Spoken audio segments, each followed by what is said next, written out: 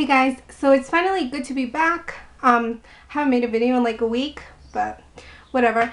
Um, so today's video is going to be like the good and the bad foundation primers, except for it's a little bit different. I kind of like most, like, well, like about 95% of the primers that I have, I really like. It just depends on, I'm going to go out like how much I use them, the ones I reach for the most. And then I do have one that I really don't like. Now, foundation primer, you put it on after your moisturizer and before your foundation. Um, you don't have to use it, but it does kind of, well, depending, because there's like a million types of foundation primers, which I'm not even going to get into. But yeah, so you know, it's just something that you put on your face and it gives you like a really smooth canvas to put your foundation over. And recently I have been wearing, every time I wear a foundation, I wear a primer. I just got into like this habit of putting a primer before my foundation and I really really like it. It does make your foundation stay on a bit longer and it just gives you like a smooth surface to apply your foundation to. So I'm going to start off with the ones that I reach for on the daily and some of these aren't exactly um, foundation primers but I really like them. For instance the first one this is the Cosmedicine Medi-Matte. This is actually an oil control lotion and now I only use this like foundation primer. I usually base it here and then I just kind of blend it out and then a little bit on my forehead. But because right here, like this is where I have like really big pores. So I kind of like to minimize the appearance of my pores or whatever. So this, I usually base it on my nose and then I blend it out all right here. But I really like it because it mattifies like completely like completely so I really recommend this if you have oily skin but the other thing I really like that it does is that it actually blurs out your pores which I never like it's kind of like it has a thicker consistency which I can kind of see why it kind of fills your pores and blurs them out. But I just I really like to use this as a primer um, even though it's not I actually use it as a primer instead of a lotion um, just because like I have other facial moisturizers that I really like. So I really recommend this if you have oily skin or if you're looking for just like a primer that has oil control or whatever. Next up we have the Hard Candy Sheer Envy Primer. This is one of my favorites. I've had this for a while now. I'm almost out. And this just has, it's kind of like a white consistency.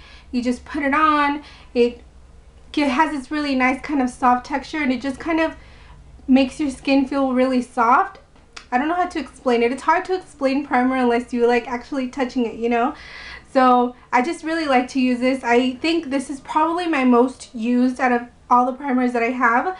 Um, just because it's easy to reach for. It's in a squeeze tube. But I really do like them. I think you find that at Walmart only. Now next up we have, this is the Too Faced Primed and Poreless. This is just a little travel size. But I actually really like this it smooths out your skin, it kind of blurs out your pores, and it just gives you like that even, kind of like even texture to your skin. Um, I actually really, really like the consistency of this primer. And it's just kind of like a little, let me see. You guys see it? Where is it? It's like right there.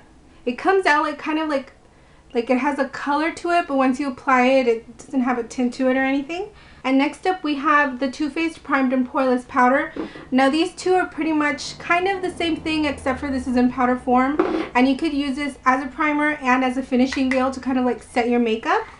And it looks like that. It's a really, really fine powder. Now the way I like to apply this, I now that I've had it for a while, I kind of like to use it more as a primer than a setting powder.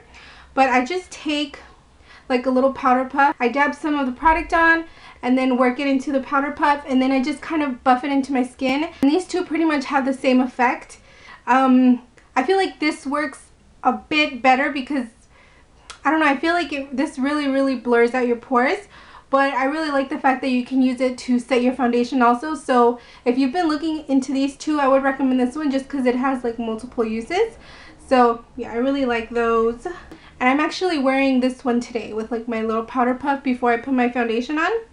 And now the next one, this is not like an actual primer. This was like a homemade primer that my friend made. And she calls it an illuminating primer. It's pretty much made out of like um, facial cold cream and sunblock and then just something to make it shimmery. But I like to use this on days when I really want to look glowy.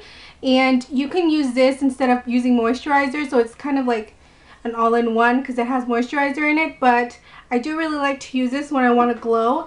I also like to use, I'm you, this is like not even a primer, but I like to use it as a primer. This is the Laura Mercier Tinted Moisturizer in Illuminating. It just has such a nice glow to it. Just looks like that. Um, it's a tinted moisturizer, but it adds a really nice glow. So I just like to put it on and use it as a primer when I want to look glowy. And I usually only apply it like in the C area. And I look glowy. The next one we have is the L'Oreal Studio Secrets uh, Magic Perfecting Base. And this is just like a pink primer. Um, I really like this. Um, it smooths out like your skin. It kind of blurs out your pores. The only downside is the packaging. Like I hate products that I have to dig like my finger in there or something. So I don't really like that. But other than that, like it's a good primer. Like I like all the primers that I have. Um, you know, so I can't really say anything bad about them. Except for this one. I don't like the packaging. And last but not least, we have the one that I don't like. And this is the L'Oreal Studio Secrets Anti-Redness Primer. Now this is like a color correcting primer. Like if you have a lot of redness, and I sometimes get a lot of redness in this area, but this just does nothing for me. It doesn't help my redness. It actually makes me look dry in the areas that I applied it, which kind of sucks. And it's like, has like a little pump. It has like really cool packaging. It's more on the liquidy side, but yeah, this just does nothing for me and I, I just don't like it. But yeah, that's pretty much it. So yeah, that's pretty much it. I hope you guys enjoyed the video. If you have any questions, please let me know and I will talk to you guys later. Either keep your collection but you can never buy makeup anymore or you lose your entire collection